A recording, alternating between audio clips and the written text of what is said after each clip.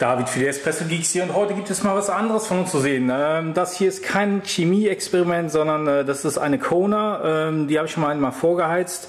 Und zwar ähm, ist das ein Vakuum-Kaffeezubereiter. Dazu gehört ein Trichter, der oben reingesteckt wird. Heißes Wasser kommt unten rein, es zieht hoch, aber bevor ich das alles theoretisch zeige, zeige ich das auch lieber praktisch.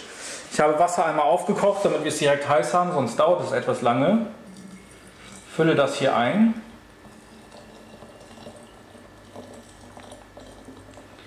Da solltet ihr nicht zu viel Wasser nehmen, weil ähm, ihr sonst in eine, einen Siedestau kommen könntet.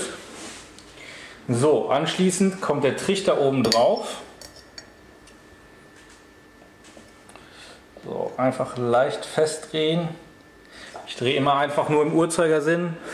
Und was Sie dann als nächstes machen, ist einfach diese Kerze darunter setzen. Ähm, das ist einfach eine Kerze, die mit ähm, Lampenöl betrieben ist. Und ähm, ja, anschließend warten wir, äh, dass uns das äh, Wasser direkt hochkocht. Das dürfte relativ schnell geschehen, weil ähm, wir unten schon kochendes Wasser drin hatten. Und was jetzt geschieht ist, das Wasser geht durch den Trichter hier hoch in den oberen Behälter hinein. Dort geben wir nachher den Kaffee hinzu und ähm, lassen das Ganze ziehen und dann ziehen wir unten die Hitze weg. Unten kühlt es sich wieder ab und der Kaffee wird dann, weil die kalte Luft sich zusammenzieht, durch ein Vakuum heruntergezogen. Der Filter hält aber den ganzen Kaffeebrüt oben und ich zeige mal, wie es von oben aussieht. Ähm, wie ihr seht, füllt sich das hier schon alles mit Wasser, also das ist schon Wasser hier. Es geht relativ schnell, wenn man das Wasser vorgeheizt hat. Ähm, wenn man das Wasser nicht vorheizt, dauert es relativ lange. Deswegen empfehle ich euch dringend, das Wasser vorzuheizen. Und ähm, warum wir den Kaffee nicht schon vorher hineingeben, ist ganz einfach, weil sonst der Kaffee zu lange im Wasser ziehen würde. Das äh, heißt, der würde dann natürlich viel zu stark werden. Ähm, und daher warten wir ab, bis, bis das Wasser hochgezogen ist und dann geben wir den Kaffee hinzu, lassen ihn drei Minuten ziehen und nehmen dann die Hitze weg.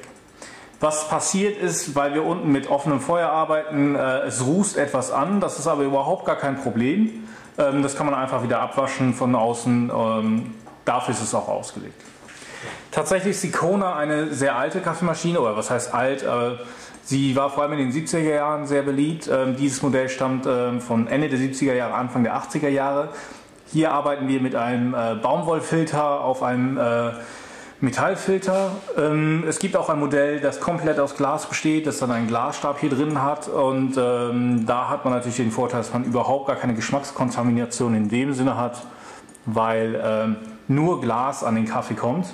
Hier haben wir halt ähm, noch den Baumwollfilter drin, aber das ist okay, den schmeckt man jetzt auch nicht so stark. Wichtig ist, dass man den halt ordentlich auswäscht und, und äh, regelmäßig halt reinigt und eventuell halt austauscht.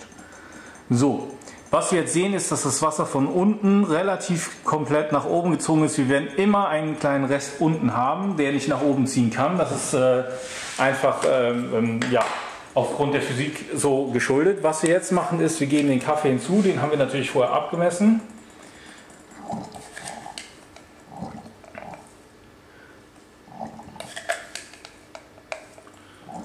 So.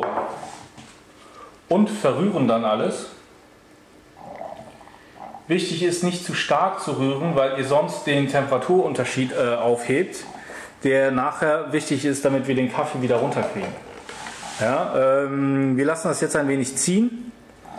Ähm, was dabei jetzt geschieht und, und warum ich hier immer wieder durchrühre, ist einfach, damit der Kaffee wirklich komplett mit dem Wasser in Berührung kommt. Das Schöne bei dieser Zubereitungsart ist, das Wasser oben hat eine sehr konstante Temperatur von etwa 96, 97 Grad Celsius. Ähm, dadurch haben wir eine sehr konstante ähm, ähm, Extraktion des Kaffees, was bei anderen Filtermaschinen zum Beispiel nicht der Fall ist. So, jetzt haben wir das hier ein wenig ziehen lassen. Was nun gemacht wird, ist relativ einfach. Äh, ich rühre noch einmal sachte um und ziehe die Hitze unten weg. Einmal ausmachen. Und jetzt zieht der Kaffee hier runter. Einmal näher ran, damit man es sehen kann. Ja, der Kaffee zieht jetzt wunderbar nach unten. Und wenn ich es gut gemacht habe, haben wir hier gleich genau so, wir haben unten jetzt den Kaffee und oben ist nur das Kaffeepulver oder das Filtrat übergeblieben, ähm, das sich durch den letzten Rührer natürlich in einer schönen äh, Form oben äh, angesammelt hat. Was wir jetzt hier haben, ist äh, ein wunderbarer schwarzer Kaffee. So, wir ziehen den Filter oben einfach ab.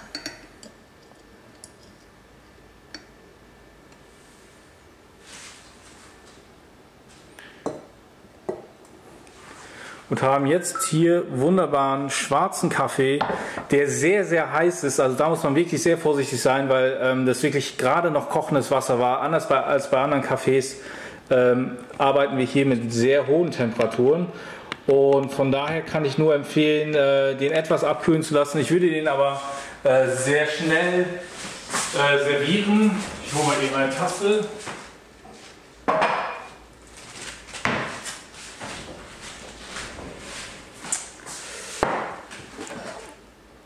Das Schöne ist, einfach an den Griff halten.